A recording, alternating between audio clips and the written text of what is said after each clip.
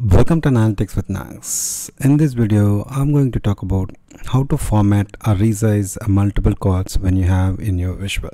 It's not only one single sheet. Usually while we are doing the development, we will not uh, think about the formatting options. Then we will drag and drop random measures and once we finalize, then we'll end up with formatting uh, for um, few hours.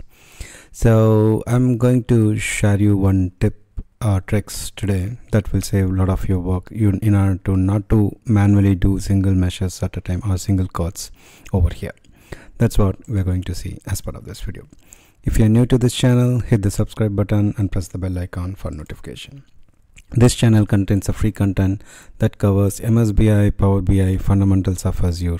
Share this channel with your friends and colleagues. Let's begin our today's topic. So I'm in Power BI now and you can see here we have uh, these cards right? Um, basically uh, I want to align it properly at the top of the uh, page. Similarly you can have uh, multiple pages over here. Each page can have its uh, uh, multiple cards. So doing it one by one with some sizes it will be very difficult. How to smartly do it? You need to do two steps. First make all in the same size uh, same format. So select all the cards here then go to here callout value.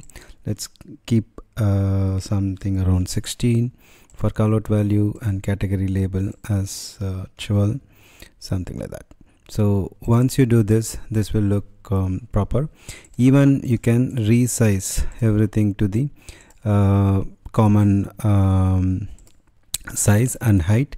Let's say I don't want to keep more than 60 for the height and width should be 150 that should look decent.